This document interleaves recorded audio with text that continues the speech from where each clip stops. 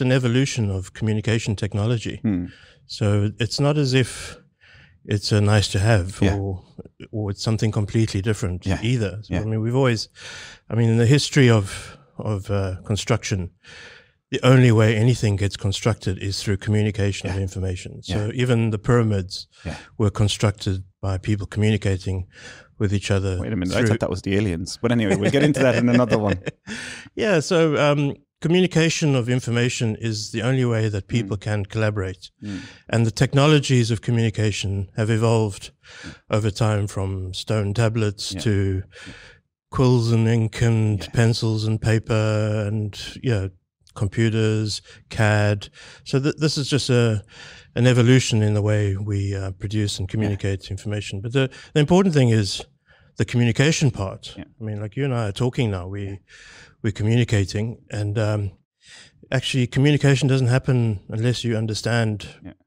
You know, if you're if you're not receiving what I'm saying, Yeah. then communication hasn't happened. I'm just broadcasting, making noise, which my wife accuses me of very often. But, Hi, uh, yeah, so so I think that's we've got to put BIM in the context of that. We we have to share information with each other to describe a building or a piece of infrastructure. Um, that's probably the first thing about BIM is it's not just about vertical buildings; it's about the built environment, and uh, and the information part is what we're communicating, and uh, the modeling part is the probably the part that most people find um, difficult to understand. But it, modeling is actually a, a word from information technology rather than Construction. um, construction, because we've we've been modeling information forever. yeah, I mean, yeah. as a quantity surveyor, when you produce a bill of quantities, you you're modeling a cost cost information. You know, So, so really, BIM in its context is a human evolution, not a construction evolution. If we look, forget about construction and look at our daily natural lives, we're evolving in terms of our communication and technology in our daily lives, whatever we're doing. That's exactly what it is. It's just a, a way of communicating bet- between us. I mean, if we, if you and I are going to collaborate on a project, um, you know, I've got to communicate my ideas to you so Yeah. that you can put some costs around it or measure it or whatever. And um, and the better that communication is, the better that collaboration is going to go. So if, if you don't understand what I'm saying, uh, what I'm describing, Yeah. then there's going to be miscommunication, misunderstanding, and the whole thing's going to fall down. So, yeah. throughout history, we're looking at the way we communicate with each other. And, Yeah. you know, it's really funny because some people say, well, we don't do 3D. Yeah. Well, the built environment's always been 3D. 3D, Like yeah, it's, yeah. I mean, It exists in 3D. yeah. in the past, we've communicated that through a series of two dimensional abstractions, Yeah. but we were still communicating a 3D uh, artifact. Yeah, know, like yeah. a- even, the, the even, result. even if it's a flat construction like a road, like there's pipes below the With road, layers. there's three dimensions. There's always three dimensions Yeah.